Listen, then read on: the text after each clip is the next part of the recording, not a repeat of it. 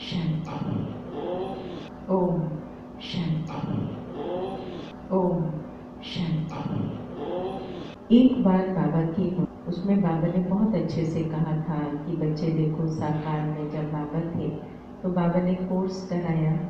किया ना हम सभी ने कोर्स मुरलियाँ जो बाबा की थी, वो हम साकार में सुनते थे। उसके बाद बाबा ने कहा कि वही कोर्स जो था, फिर रिवाइज कोर्स के रूप में भी चला। साकार मुरलियाँ रिवाइज होके हमारे पास आने लगी. क्यों आने लगे? क्योंकि बाबा ने कहा, बच्चे, बाबा की सेवाएँ तो बहुत ज़्यादा बढ़नी है। और हम देख भी रहे हैं कि दिन प्रतिदिन इतने बाबा के बच्चे निकलते जा रहे हैं। तो पीछे में क्या हुआ? बाप दादा ने क्या पढ़ाया? वो हम सबको भी तो मालूम होना चाहिए ना। तो इसलिए फिर क्या हुआ? कि जो साकार में चला, जो कोर्स चला, वो अब रिपीट होकर किसके लिए आता है?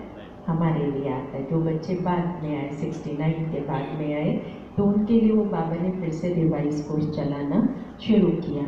और उसके बाद बाबा की जो मुरलियाँ चलने लगी, जिनको हम अव्यक्त मुरली कहने लगे, क्योंकि तो बाबा ने जब एकदम अचानक शरीर छोड़ा तो बच्चों ने उल्हना दिया बाबा बाबा आप तो अचानक चले गए। कम से कम थोड़ा इशारा तो देते।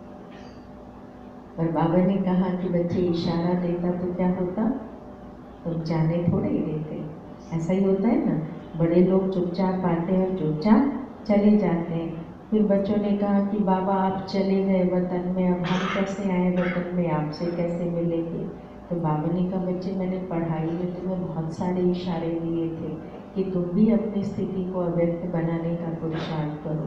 तो किसी ने थोड़ा उलहना दिया था और किसी ने थोड़ा ज़्यादा उलहना दिया था। तो उसका भी आंसर देते हुए बाबा ने कहा था कि बच्चे, अब क्या होगा? जो भी सेवाएँ हैं, उसके लिए तुम्हें ऊपर वतन में अपनी स्थिति को बनाने के लिए आना होगा। इसलिए तुमने अपनी स्थिति को वहाँ नहीं बनाया। तो बाप को क्या होना पड़ा? तो हम समय प्रति समय देख रहे हैं कि आज का जो समय भी चल रहा है, वो हमें दिखाई पड़ता है। पहले तो हम कहते थे, पहले तो हम कहा करते थे कि विनाश होगा। तो लोग हमारे ऊपर हँसी उड़ाया करते थे ये विनाश कैसे होगा।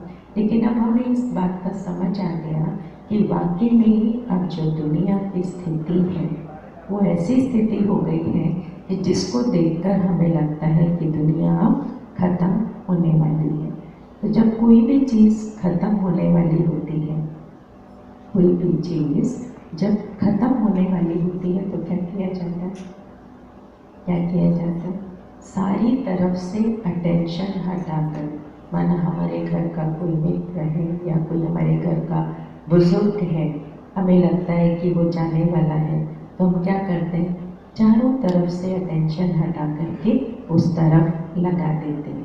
तो भले बाबा ने हमें पढ़ाई तो बहुत ऊँच पढ़ाई है, लेकिन बाबा कहते उस पढ़ाई के ऊपर अब तुमने अटेंशन देना है कि बाबा ने जो जो बातें हमें कही हैं, उसको हम अच्छी रीति से अपने जीवन में धारण करें।